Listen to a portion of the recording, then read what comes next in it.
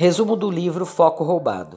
Foco Roubado explica por que nossa capacidade de atenção está diminuindo há décadas, como a tecnologia acelera essa tendência preocupante e o que podemos fazer para recuperar nosso foco e, portanto, nossa capacidade de viver vidas significativas. Sempre me lembro do dia em que a multitarefa quase me custou a vida.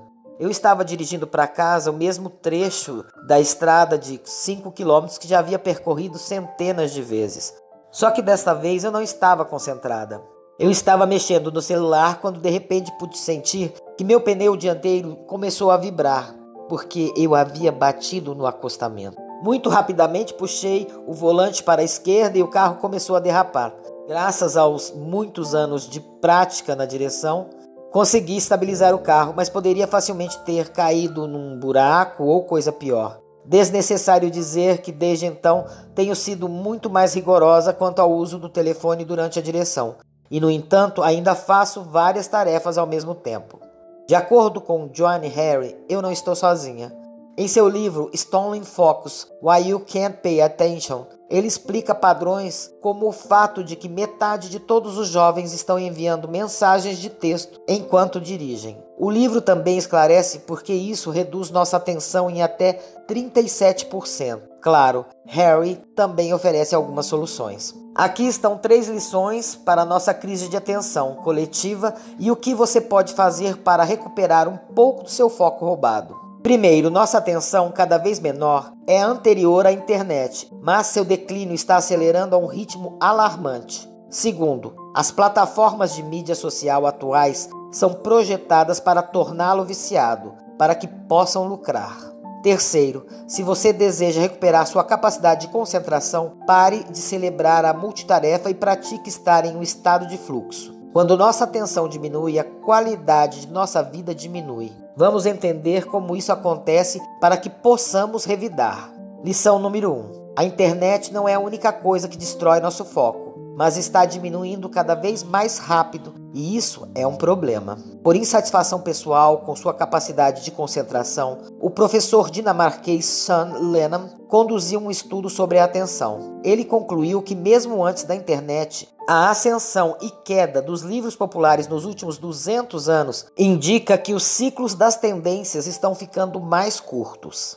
A internet agrava este problema. Em 2013 e 2016, a duração média de trending dos tópicos no Twitter caiu mais de 30%, de mais de 17 para pouco de 11 horas. O culpado é a taxa crescente em que podemos espalhar informações. Das cartas ao rádio, aos telefones e à TV ao vivo, a internet é apenas a ponta do iceberg. E nossos cérebros simplesmente não estão evoluindo rápido o suficiente para lidar com isso.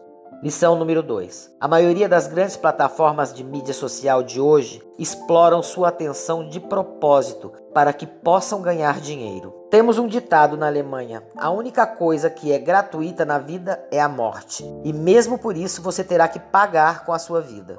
Isso significa que tudo tem um preço, mesmo que inicialmente o preço esteja oculto. As redes sociais são um ótimo exemplo. Não pagamos em dinheiro para usar serviços como Facebook, Instagram, TikTok.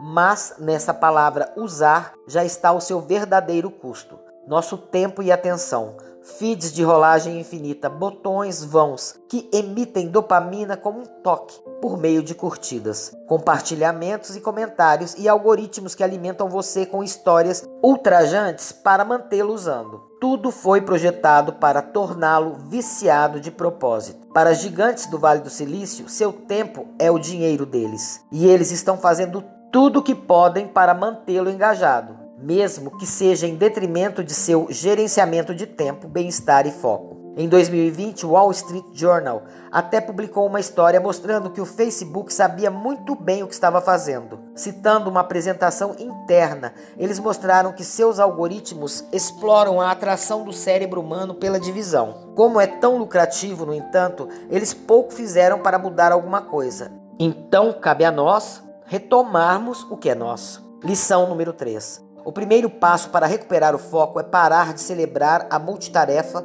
e começar a praticar o estado de fluxo. Mais informações do que podemos lidar, tecnologia viciante, e toda uma indústria incentivada a mantê-lo na rolagem do fim do mundo pelo maior tempo possível. É fácil colocar seu chapéu de vítima quando se trata de sua parte de foco profundo, mas nós também carregamos parte da culpa. Por um lado, desenvolvemos uma cultura de celebração de multitarefa. Como nossa sociedade agora está sempre perseguindo a próxima coisa, adotamos a mesma mentalidade no trabalho. Quanto mais caixas pudermos marcar, melhor. Ou assim pensamos. Em última análise, acabamos fazendo multitarefas performáticas. Estamos mais preocupados em parecer e nos sentir ocupados do que realmente criar algo significativo. Claro, multitarefa é um mito, um termo reservado para computadores com múltiplos processadores, não humanos com apenas um cérebro. Então, o que você pode fazer? Rejeitar multitarefa.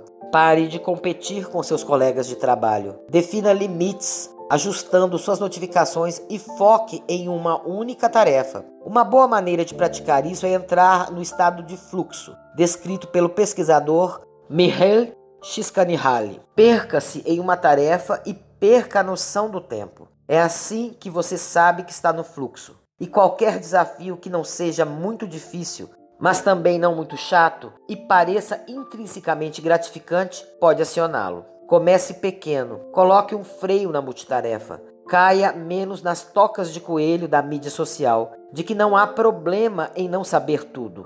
Encontre algum tempo para entrar no fluxo e seu poder de foco estará de volta em pouco tempo. Harry aborda bem o assunto. Ao delinear a situação como uma crise de atenção global, ele nos transmite a gravidade da situação. Ele habilmente compila a história, os últimos desenvolvimentos e pesquisas atualizadas sobre o assunto, e ainda consegue introduzir algumas recomendações pessoais sobre como podemos melhorar. Stolen Focus é uma ótima leitura para aprender a gerenciar melhor sua atenção no século 21.